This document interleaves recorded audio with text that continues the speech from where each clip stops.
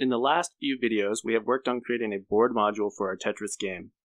In this video, we're going to start adding a board to our state. Let's start by opening up our state module. We will need to import the board module, so let's add that here at the top.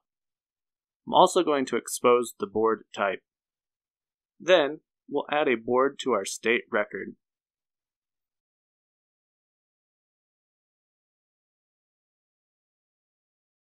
Finally, let's add an empty board to our default state.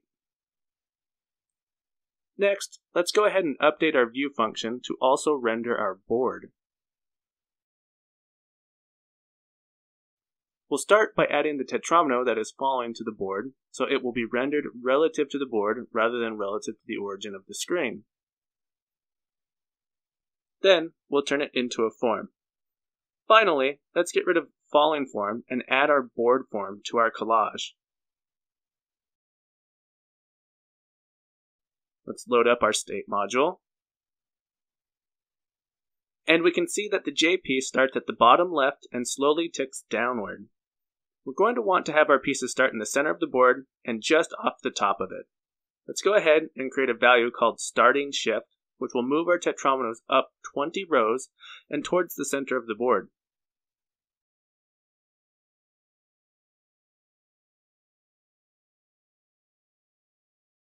Then, let's go ahead and shift our J piece in our default state.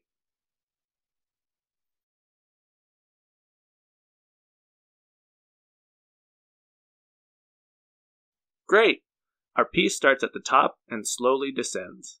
We can still move it out of bounds though, so let's work on that next.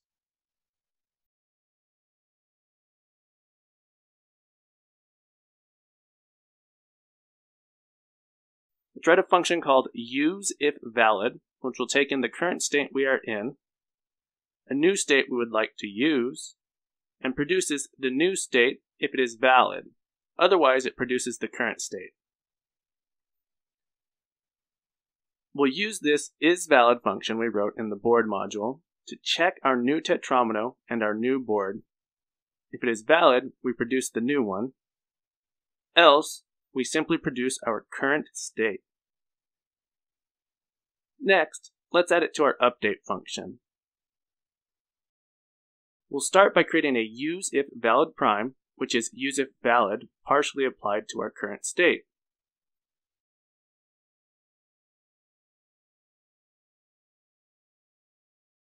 We'll then call useIfValid prime for each of our input results.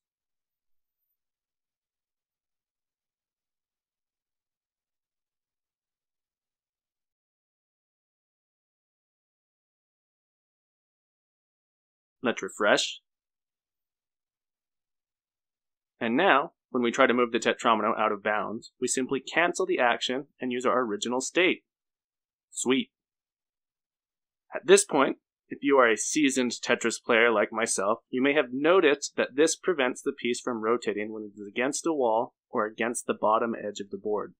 Modern Tetris games typically implement wall kicks and floor kicks. Let's go ahead and see if we can add those into our game. Let's start by writing a function called tryKicks. This function is going to take in a list of integer pairs to try shifting a tetromino to, the current state, and the possible next state.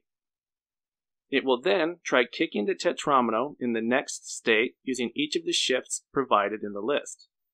If it finds one that works, it will produce that state. If none of them work, it will produce the current state. Let's start by using a case expression to pattern match on our list of possible shifts. If it is the empty list, it means that there is nothing left to do, so we'll return the current state. Otherwise, we will match on the first element and the rest of the list. We will start by creating the shifted tetromino using our shift function with the first element of the list.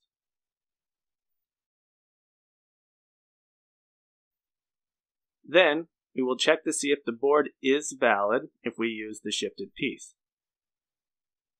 If it is, we will return a record that is exactly like next state, except the following tetromino will be the shifted one.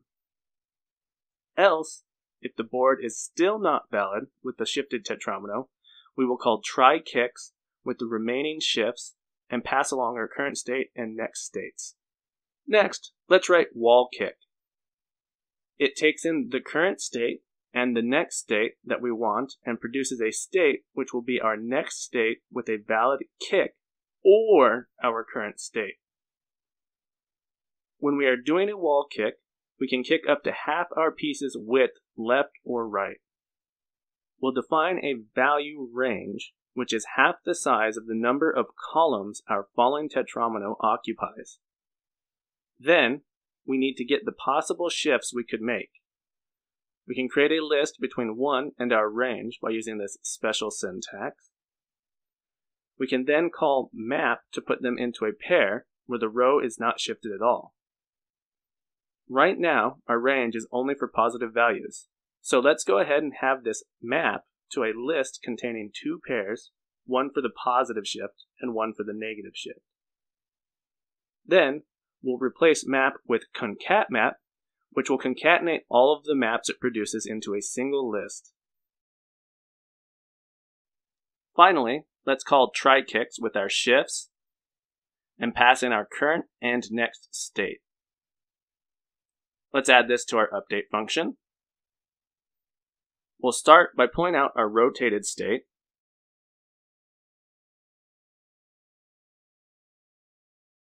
Then we'll create a value next state, which we'll use if our rotated state is valid.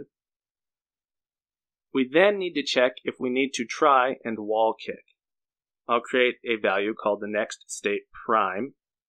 If the next state is equal to the state we were initially given, then we will try a wall kick.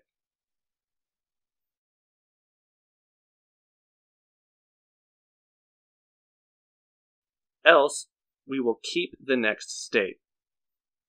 Finally, we'll return our next state prime.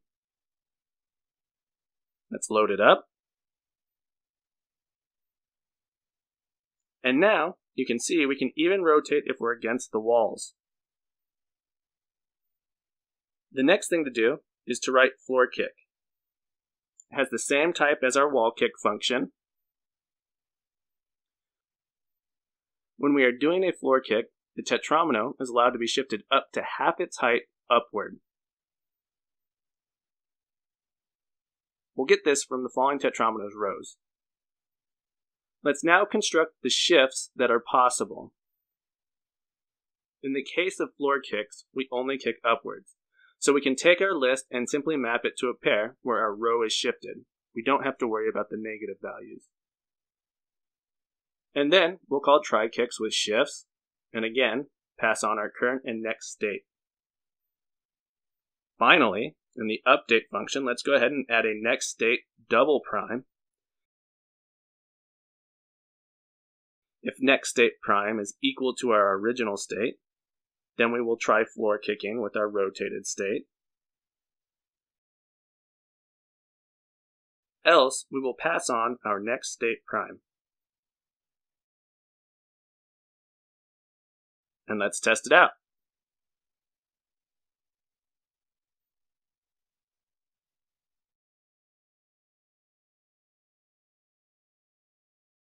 Go ahead and move this piece all the way to the bottom. Sweet! Our tetromino now kicks off the walls and the floor.